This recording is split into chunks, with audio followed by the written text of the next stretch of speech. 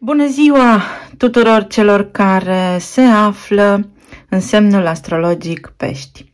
Astăzi voi face citirea pentru luna noiembrie, să vedem care este energia ce vă înconjoară și cum putem să ne folosim de aceasta în favoarea noastră. Încep prin a vedea care este tema principală de care să vă puteți ajuta sau la ce anume aveți mai intens de lucrat luna aceasta pentru a ajunge la succes și împlinire. Emoție. Înainte să încep citirea pentru voi, recunosc că am parcurs așa din memorie niște trăiri ușor emoționale într-o problemă personală și m-a dus până în adâncul sufletului și am avut câteva conștientizări foarte, foarte profunde și anume cum uh, eu repet uh, fără voia mea conștientă anumite tipare pe care le-am uh, absorbit, le-am căpătat de la părinții mei, de la mama mea mai ales.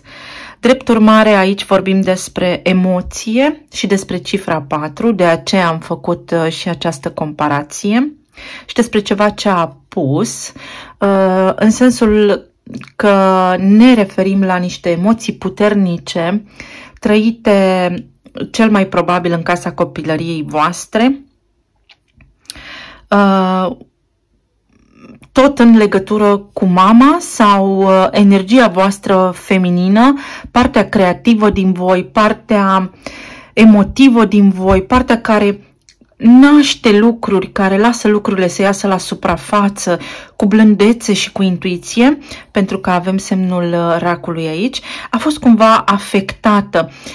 V-ați inhibat o anume trăire sau mai multe trăiri um, sau poate nu neapărat în copilărie, ci în casa, în căminul vostru actual. Avem o lună nouă care poate redresa, uitați aici, um, emoția, iar emoție înseamnă energie în mișcare, motion, moțiune, da? Haideți să vedem uh, pe toate planurile pentru voi cum funcționează aceste informații. Am ales cel mai uh, neptunian set de tarot pe care l-am. Este magic, așa. Uh, Neptun este guvernatorul vostru și Jupiter în astrologia tradițională și are această conotație a magiei și a visării și a intuiției.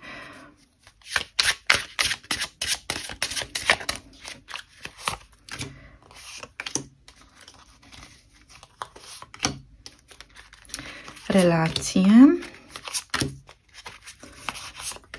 planul material sau financiar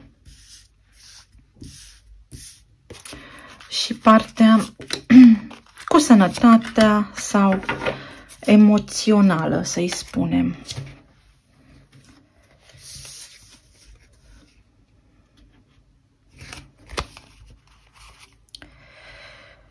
Frumos!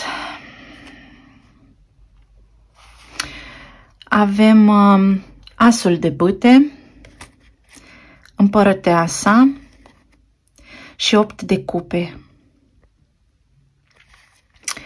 Cei mai mulți dintre voi, dragii mei pești, uh, sunteți la un început de drum după o lungă și stovitoare călătorie uh, în relațiile voastre sau posibil alături de un partener pe care vreți să-l lăsați în urmă. Nu neapărat partenerul în sine, putem vorbi aici despre trăirea voastră emoțională, despre fel și fel de lucruri. La modul cum sunt așezate aici cupele acestea, îmi vorbesc despre mesajul de două ori, patru de cupe, care înseamnă mă simt respins. Pur și simplu am obosit să dau cu capul în zid și să visez la acest curcubeu, la viața mea și am hotărât în loc să o visez, să încep să o trăiesc.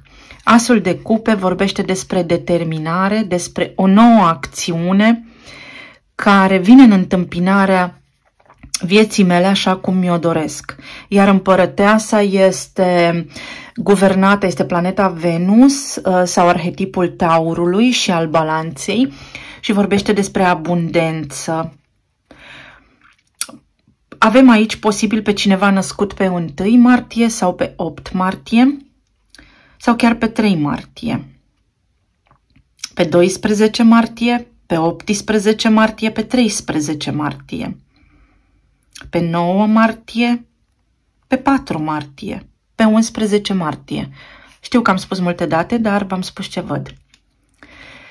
Bun.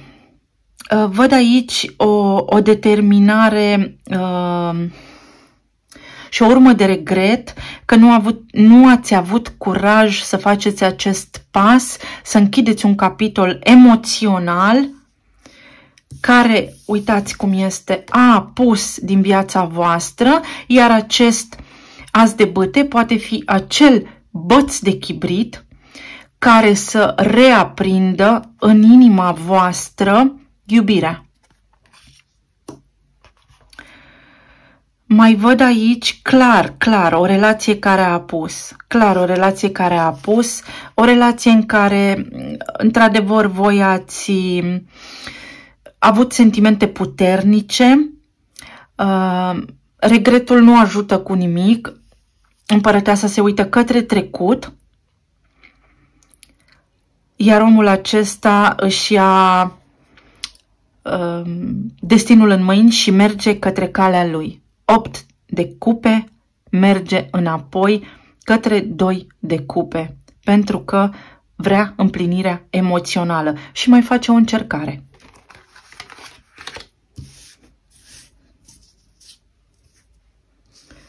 Foarte frumos mesajul.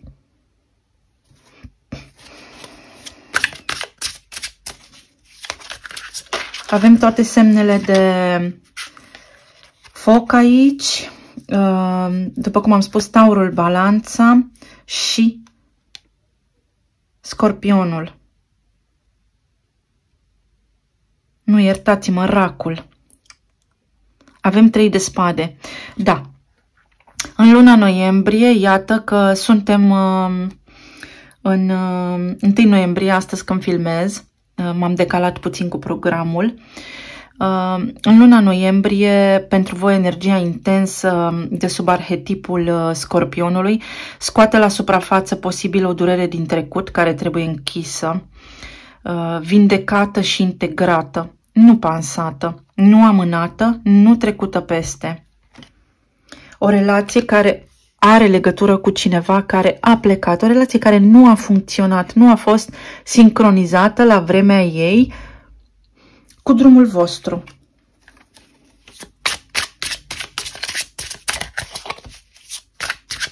Este mai mult un gând care v-a rămas acolo, este ca și când ați avea un pitic în minte care vă reamintește constant de acea durere, de acea neîmplinire.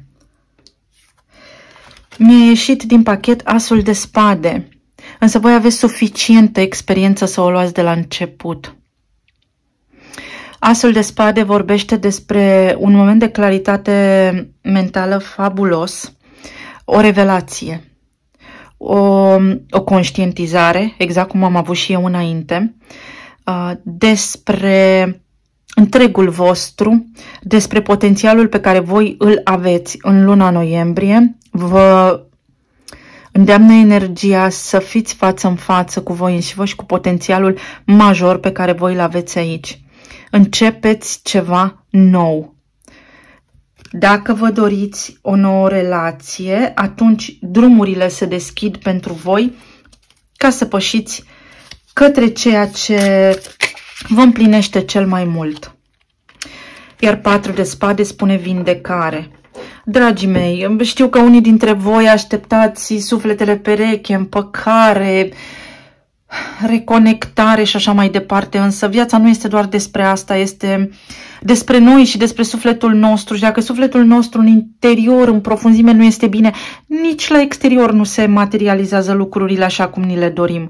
Este o lună a vindecării, este o lună prin care în liniște veți avea această realizare majoră că este timpul să închideți acest ciclu, uh, această durere, această, să-i spunem, nereușită în relație, care v-a ținut în loc o foarte lungă perioadă de timp. Aș putea să spun pentru unii cel puțin 4 ani, pentru unii cel puțin 14 ani și dacă mai adaug aici, mm, cred că pentru unii și 30 de ani să fi rămas cu gândul acolo undeva.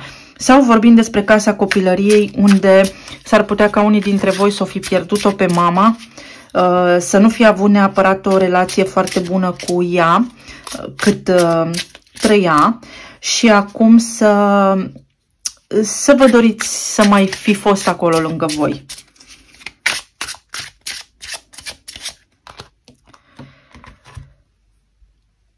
Pusnicul și 8 de cupe, uitați. Înțeleg, asta spune uh, pusnicul, înțeleg uh, că trebuie să plec și să renunț la ceva ce a fost. Este o, o relație de mult uh, trăită, de mult apusă, însă să știți că în fața voastră este altceva. La nivel de relații, dragii mei, uh, pentru voi luna aceasta este moment de conștientizare și apoi veți mai vedea voi ce anume. Veți conștientiza exact ce iubiți, pe cine iubiți și dacă iubiți. Patru de cupe, vorbeam despre el mai devreme. Este momentul în care puteți să treceți peste nereușita avută, peste drama sufletului vostru și este momentul în care să vă ridicați în picioare pentru că aveți experiență și vă puteți ajuta singuri, vă puteți apăra singuri. V-ați dat singuri uh, cum ar veni canon, judecata, renaștere.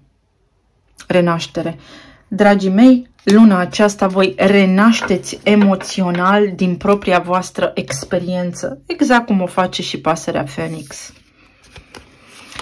Pe planul material avem uh, faetonul, 4 de cupe, și patru de spade. Hm. Se repetă cărțile.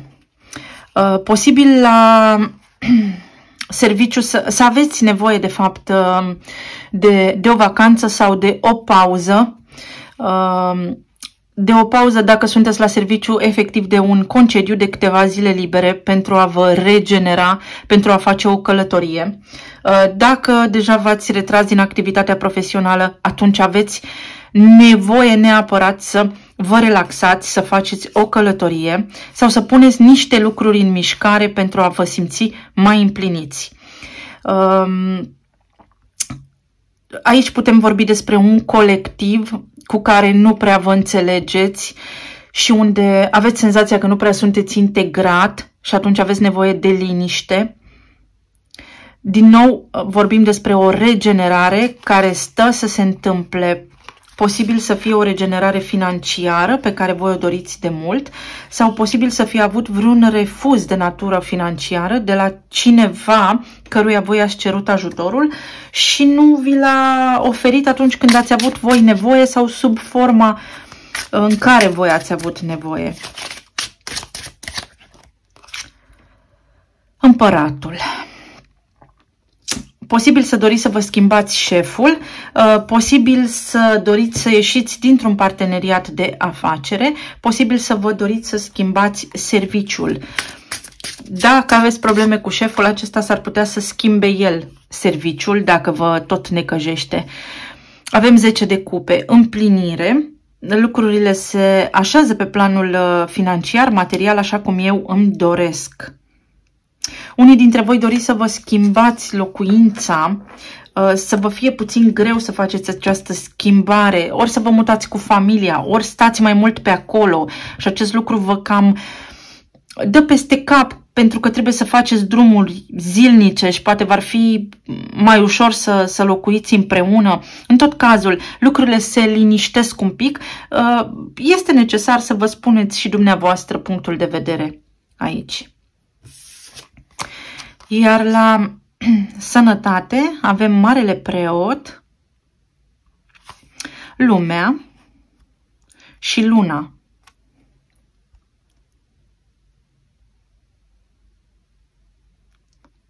Aveți racul, ia uitați, și pe emoții avem tot racul. Conflictul pe care îl aveți voi este de natură emoțională și are legătură cu feminitatea sau posibil cu un rac din viața voastră sau posibil cu un taur din viața voastră.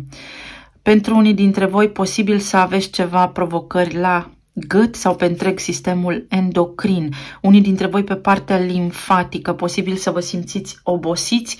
Unii dintre voi posibil să nu aveți apetit, apetitul să vă fi scăzut.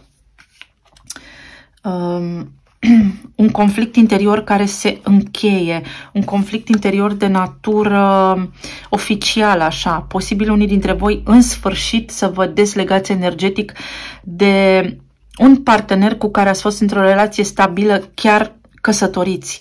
Pentru unii dintre voi, posibil o relație de căsătorie să se încheie aici și acest lucru să vă macine neștiind acum care este drumul vostru și ce este cel mai indicat să faceți, pe ce drum să o luați de acum înainte. Um, când lumea apare, este cumva obligatoriu așa să, să facem un pic de curățenie și să facem pași înainte către conștientizări, pentru că altminte repetăm aceleași tipare și aceleași cicluri vin către noi, doar alt nume și alt prenume. 9 de bâte. Ne vorbește despre puterea noastră interioară și despre forța pe care noi o avem să ne apărăm.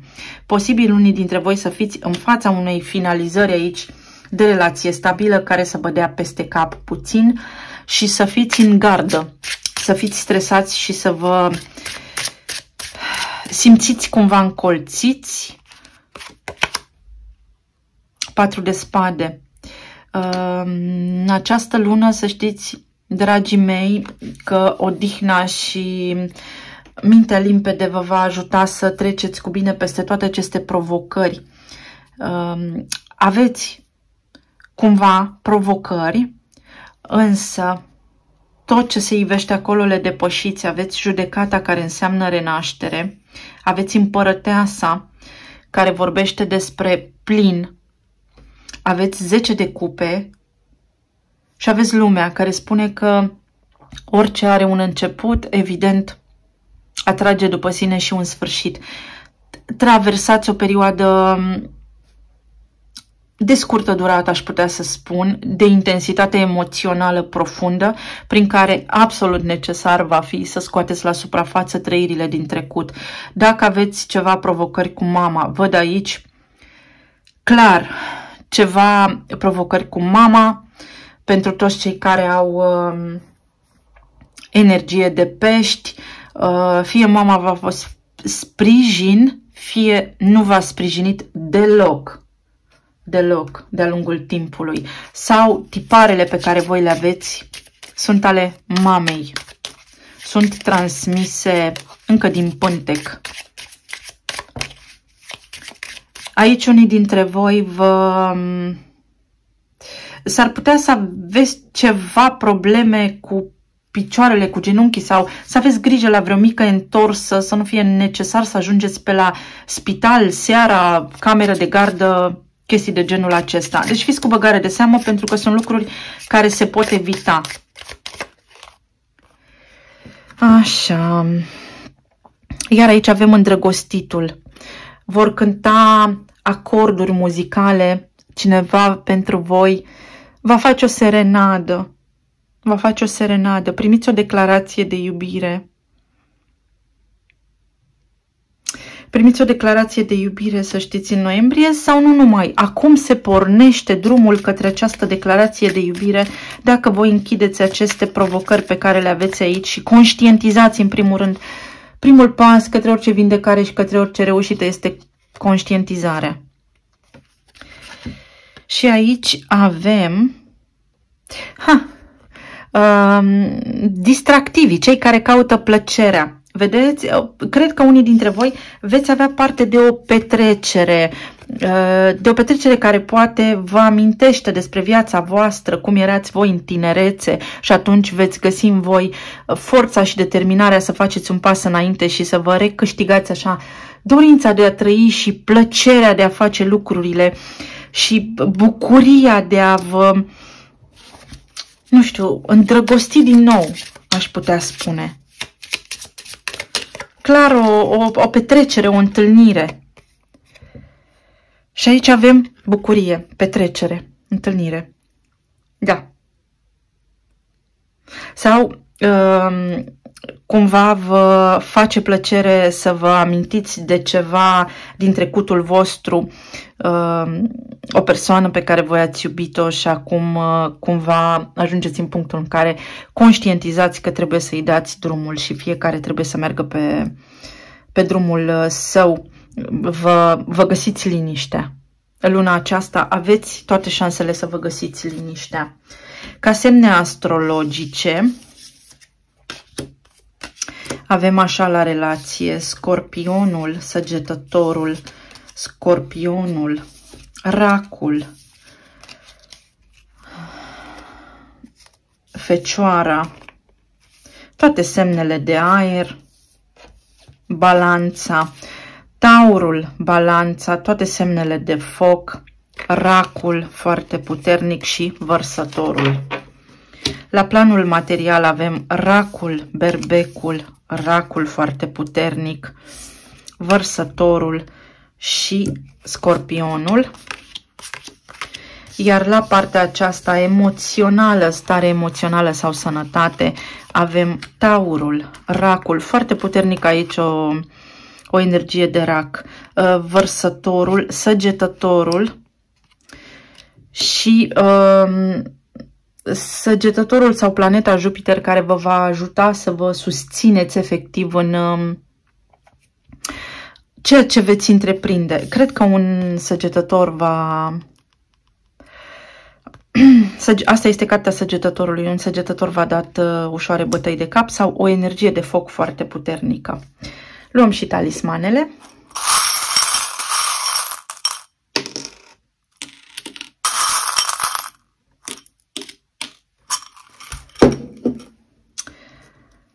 La zona de relație avem un W, care înseamnă străinătate pentru mine, și pantoful. Uh, fie veți merge la această petrecere în străinătate undeva sau uh, posibil în alt oraș, sau fie în sfârșit primiți în viața voastră această um, curățare emoțională care vă transformă din, uh, vă transformă tristețea în bucurie, ca în mitul cenușăresei. La partea materială avem vacanță, ia uitați, Capricorn și inițiala M. Uh, poate fi un nume propriu, un oraș sau ziua de luni, vacanță, aveți nevoie de o vacanță sau de o detașare sau să faceți o vizită familiei voastre sau să stați mai mult pe acolo. Și semnul Capricornului spune Ehm, luna ianuarie, posibil sfârșit de decembrie, să petrece sărbătorile împreună. Iar la partea aceasta emoțională, eh, avem așa, să găsim bucurie în tot ceea ce facem, un sărut și această hienă. Să nu vă mai sabotați Uh, gândindu-vă la trecut, ci să vă bucurați de tot ce ați avut împreună, posibil pentru unii dintre voi, să rămâneți cu bucuria de atunci, pentru că avem și cărțile acestea aici, și să vă dați o șansă la, la bucurie și în viitor. Dragii mei, mă bucur tare mult că v-am avut alături. Să fiți bine, să aveți o lună noiembrie fabuloasă, Să fiți iubiți și sănătoși. Vă îmbrățișez. Pa, pa!